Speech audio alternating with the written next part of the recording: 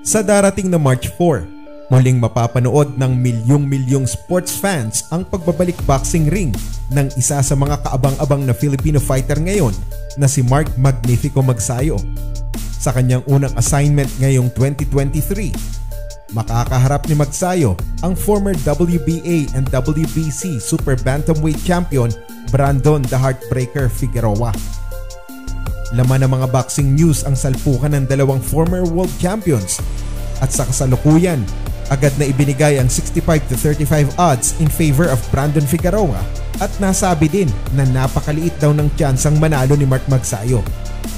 Sa videong ito mga idol, ihimayin natin ang mga laban ng dalawang boksingero at kung bakit ko nasabing may kalalagyan si Figueroa dito kay Magsayo. Magandang araw mga boxing fans at welcome back sa Sports Manda.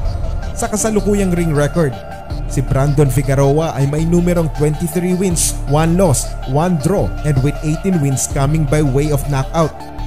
Si Mark Magsayo naman ay may kartadang 24 wins, 1 loss and with 16 wins coming by way of knockout. Parehas na may 25 laban na sina Magsayo at Figueroa sa kanilang pro boxing career. Ngunit bahagyang mataas ang knockout rate ni The Heartbreaker na may 72% kumpara sa 64% ni Magnifico. Kung tail of the tape ang pag-uusapan, mas matangkad si Figueroa na may taas na 5'8 kumpara sa height ni Magsayo na 5'6. Kung mga galamay naman ang itidetalye, nasukat na may habang 72.5 inches ang reach ni Figueroa samantalang 68 inches naman ang reach ni Magsayo. Quick info lang pala mga idol, ang pagsukat ng reach ng isang boksingero kailangan na nakadipa ang kanilang dalawang kamay at sinusukat ang distansya mula kaliwang hinlalato hanggang sa kanang hinlalato.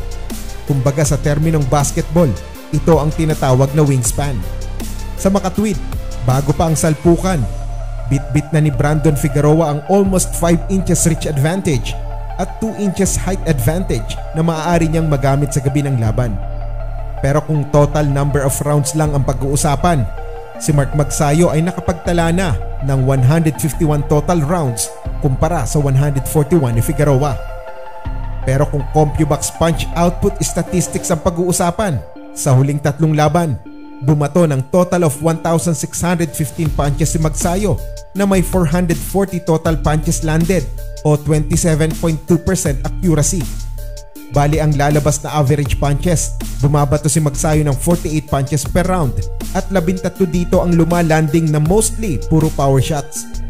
Nagtala naman ng total of 2,193 punches thrown itong si Brandon Figueroa kung saan 640 punches ang kanyang pinatama o meron siyang 29% accuracy.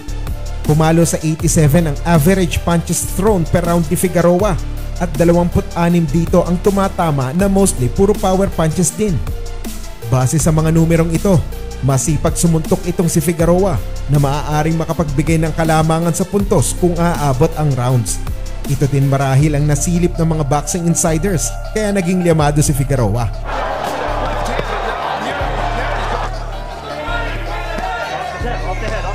Couple of left.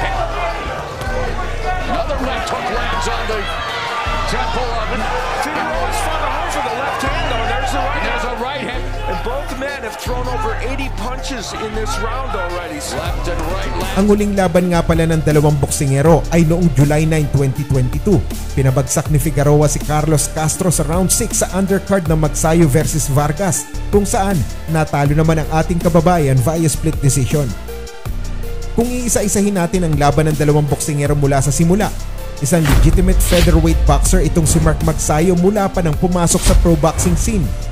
Lumaban lang siya ng isang beses sa super bantamweight at dalawang beses naman sa super featherweight. Samantalang itong si Brandon Figueroa e tumambay ng gusto sa super bantamweight division pero lumaban na din ng apat na beses sa 126 pound weight class. Kaya dito natin masasabi na may kalamangan ang ating kababayan. Pero alam nyo ba na may common opponent itong sina Magsayo at Figueroa na pwedeng magbigay linaw sa magiging resulta ng laban at yan ay walang iba kundi itong si Julio Polito Ceja. November 23, 2019 na magharap sina Figueroa at Ceja. Kahit na mas mabigat ng almost 5 pounds sa limit si Julio Ceja, pumayag pa din si Figueroa na matuloy ang laban. Back and forth action ang naging labanan na nauwi sa split draw. Pero kung titingnan ang numero sa CompuBox, tumapon ng total of 1,338 punches si Figueroa at nakapagpatama ng 411 na suntok. August 21, 2021 naman nang magtapat sina Magsayo at Seha kapwa bumagsak ang dalawang boksingero bago pa matapos ang first half ng laban. Oh, Magsayo is buckled he goes down. The last time we saw you, you uh, had hurt your hand.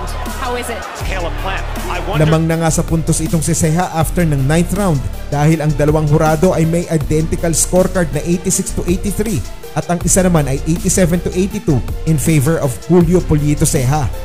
Kaso, nakakuha ng panibagong enerhiya si Magsayo coming into the 10th round kaya pinatulog niya ng mahimbing itong si Polito Seha. An inch behind. And then he's like, I've been doing this 26 years. What? Yeah. With some renewed vigor. Firing off. Few rounds, not taking a lot of. Oh, Down he goes! Base sa resulta ng pakikipaglaban ni na Magsayo at Figueroa kay Seha, iba ang lakas ng isang lehitimong 126 pounder na meron ang isang Mark Magnifico Magsayo. Well, definitely, paghahandaan ng respective coaches ang laban dahil nakataya dito ang WBC Interim World Featherweight title.